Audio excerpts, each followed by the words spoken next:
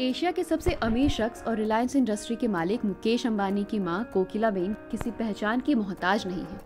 दरअसल वे लाइमलाइट से दूर रहती हैं, लेकिन कई बार उन्हें सामाजिक कार्यों के दौरान देखा जा सकता है।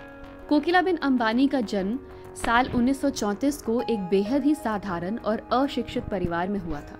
पारिवारिक समस्याओं के कारण वह सिर्फ़ दसवीं क्लास तक ही पढ़ पाई थी। हालाँकि उनके पति धीरू भाई अंबानी ने उनके लिए घर पर ही इंग्लिश टीचर का बंदोबस्त कर दिया था। जिसके कारण उन्होंने इंग्लिश सीख ली है। मुकेश अंबानी के पिता धीरू भाई अंबानी कोकिला बेन को लकी मानते थे और यही कारण था कि वह अपने सभी नए कार्यों की शुरुआत उनके हाथों से ही कराते थे।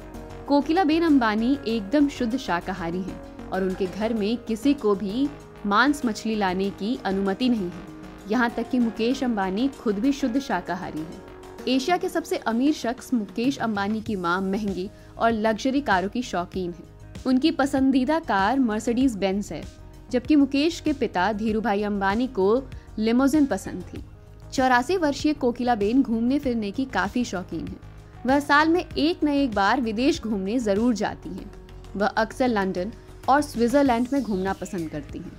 दरअसल बताया जाता है कि धीरू भाई अंबानी को भी घूमने का काफ़ी शौक था, और यही कारण है कि अब कोकिला बेन अंबानी को भी ये आदत लग चुकी है। कोकिला बेन अंबानी को गुलाबी रंग काफ़ी पसंद है। पारिवारिक कार्यक्रम और सामाजिक इवेंट सहित ज़्यादातर मौकों पर वो पिंक कलर की ही साड़ी पहनती हैं।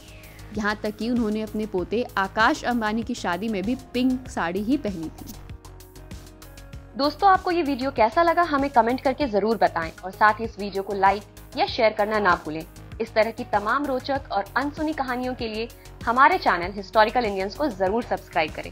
साथ ही बेल आइकन को टैग करें ताकि आप हर अपडेट पर बने रहें और आपको हर अपडेट मिलता रहे। घर पे रहिए, स्वस्थ रहिए। नमस्कार।